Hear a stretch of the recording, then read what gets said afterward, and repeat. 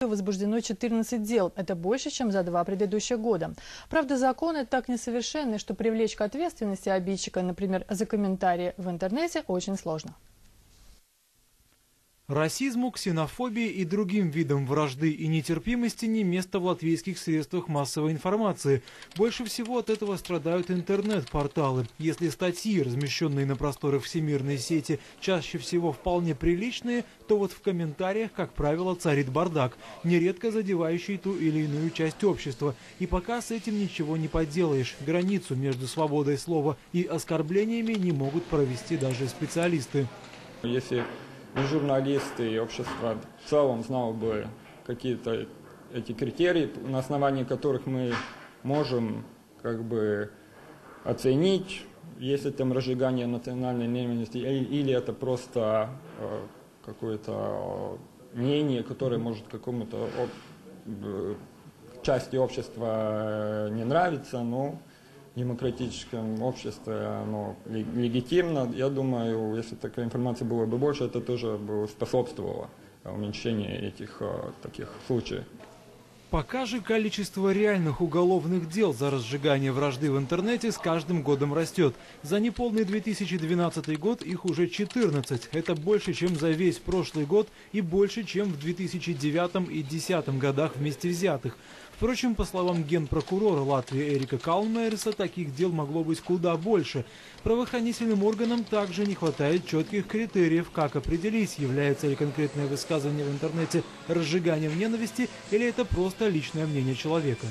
В таких случаях э, или следователь, или прокурор дает поручение, то есть назначает экспертизу э, ну, специалисту. Если заключение такое, что позволяет привлечь человека к уголовной ответственности, это случается. Но тут нужно учесть еще один момент, что защита также обращается к таким же специалистам, и тогда уже нужно э, суду разобраться, которые заключения более обоснованные. Впрочем, как уверены в Ассоциации журналистов, свои собственные критерии для комментариев и статей может устанавливать каждое средство массовой информации, исходя из соображений этики. Кроме того, ограничить хамские выходки в интернете могло бы введение обязательной регистрации для желающих оставлять комментарии. Если тут было бы какое-нибудь регистрации, там, может быть, человек может пойти там через Twitter или Другим ЛВ, тогда вся храбрость, вот я такой, я, я, я могу сказать по президенту, что он лох или чего еще-нибудь, тогда это все как бы рухнет. И это то, практика, которую делают э, наши коллеги в других странах. К слову, отметим, как уверяют в правоохранительных органах, если в Латвии 90% случаев вражды в СМИ имеют национальную подоплеку, то в других странах Европы все чаще ругань в интернете имеет религиозную основу, что куда опаснее. Сергей Герасимов, Агил Скрупный, Латвийское телевидение. Только что поступило сообщение. На фабрике по производству текстильных изделий в Торникалсе на улице Елговас обвалилась крыша. Подробности происшествия выясняются. Пожарные и спасатели уже выехали на помощь. Возможно, есть пострадавшие. Профсоюз службы пробации, которая занимается надзором над преступниками и их интеграцией в общество, снова готов к протестам. Все потому, что обещанного повышения зарплат сотрудники так и не дождались. Недельные переговоры решат, быть ли забастовки. Служба пробации ведет надзор за только освободившимися заключенными. В общей сложности сотрудниками организации являются 350 человек.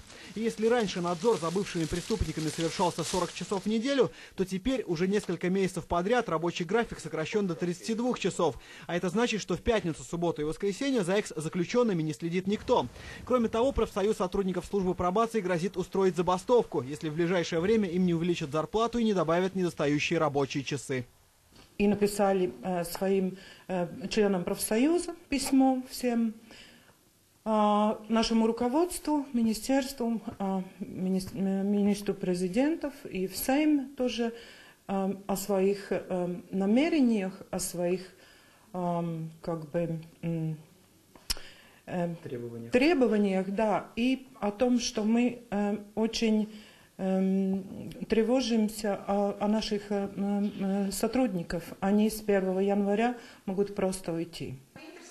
Профсоюз работников пробации пока не нашел поддержку со стороны Министерства юстиции и Сейма о повышении зарплат.